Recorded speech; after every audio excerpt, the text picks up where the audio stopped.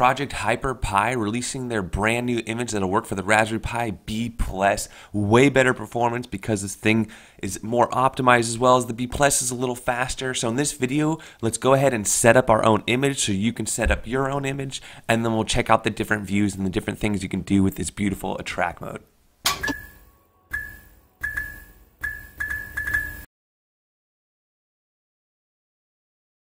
Project HyperPie, latest version for the Raspberry Pi B Plus. In the past, it did not work for the B Plus, and now we have it. So it'll be interesting to see. It's going to be on, that means it's going to be RetroPie 4.4, which is great for not only the latest and the greatest of everything, but also it's going to run a little better. Already looking pretty good. Already has, oh, okay, it has all the Duke Nukem has a bunch of ports installed already. Mario Love. So it comes with a couple things pre-installed. All right, so here it is. Let's go ahead and go to RetroPie very quick. All right, so you got just your basic stuff here, and then attract mode, which you all want to see. Before we get that, you're either going to set up your Wi-Fi or hook up to a LAN connection and transfer over your ROM. So I'm going to go ahead and do that.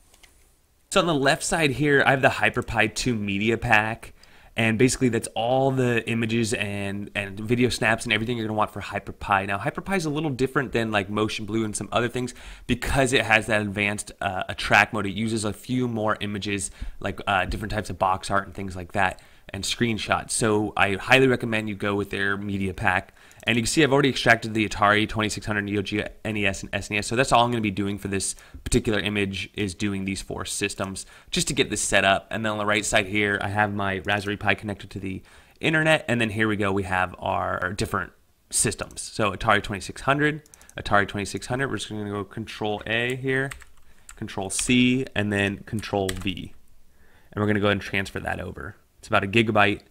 And because we're on the Raspberry Pi B Plus, it'll be a little bit quicker. If we were on the Raspberry Pi 3, this would take a long time.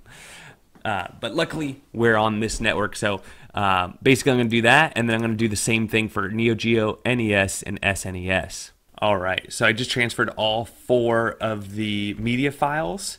And then now you just need a ROM pack. I'm using the Weird Dirty Gaming's 250 ROM pack. There's a ton of ROM packs. You can just get a ROM pack for the particular system. So I don't need the box art or any of that because I just did the the media. I already did all this with the HyperPie pack. So I just need all these files here. So I'm just gonna hold Shift, Control C, and then now I need to go back to Atari over here on my Pi, and then Control V. So I did all my artwork and now I'm just doing the games. The next thing I'm going to do is Neo Geo. Again, I just need the ROMs. Don't need... I actually do not want to replace the game list, so I'm going to have to go back and do the game list. I'm going to keep the HyperPie game list. Okay, Neo Geo.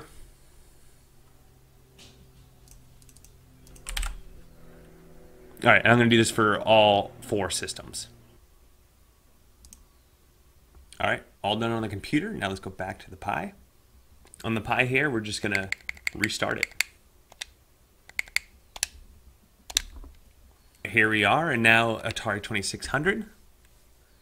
We should have pictures and video snaps, Super Nintendo as well.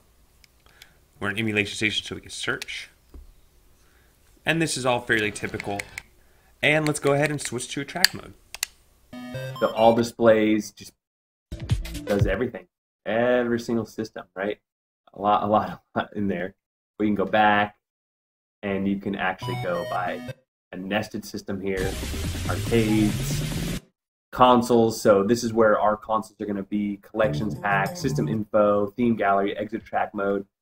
As you saw the menu goes smaller which is really nice and uh, I really like this, the track mode setup. It looks great. Um, no other front end is like this in my mind for the RetroPie. So really cool.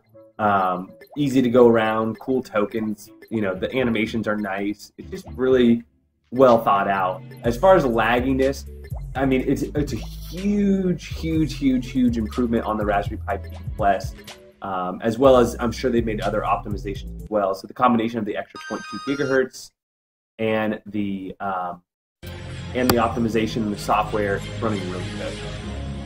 So remember, we transferred over Super Nintendo and all of our ROMs. Let's take Super Nintendo, for example. This is the stock view here. I'm going to go ahead and hit my trigger, and I'm going to go to controls, and I'm going to go ahead and bind my control for um, toggle layout. Oh, I've already done that. It's my trigger. So toggle layout, you're going to see I'm going to go ahead and go back now, and then I'm going to hit it. So right now I have a vertical scroll with a menu that goes to the right. Okay, there you go. So this changes my view here to the logo view on the right. Similar view with the metadata on the right. Do it one more time. Right now we're just toggling between. This is like a closer up look. And as you see, still a vertical menu. Did that again. All right, now we're on the horizontal menu. Pretty cool. And as you see, it's, it's pretty snappy. It's not that slow, especially for a little Raspberry Pi. Try another one. All right, now we're back to here.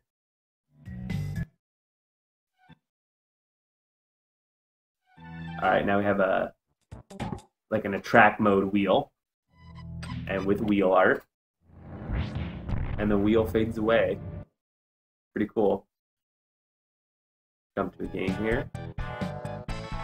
This is one of the first attract mode builds where I haven't run into that many issues. Looking good. Hit it again here. We got the vertical again. This is pretty cool, button mode.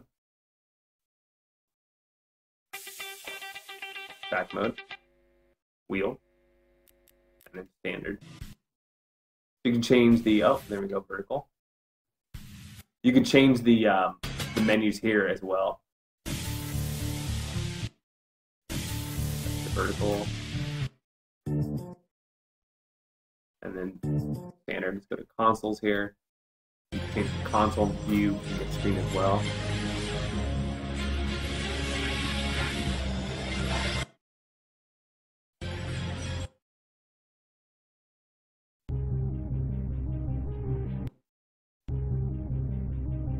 Back to wheel. And then back to normal. Um, remember, so we did Atari 2600, we added all the ROMs as well. Oh, this is interesting. Full screen. Change that up. You got the wheel. Change it up again. We have standard. Change it up again. We got the vertical. Change it up again vertical large video. We have horizontal. Back to the standard with the bigger.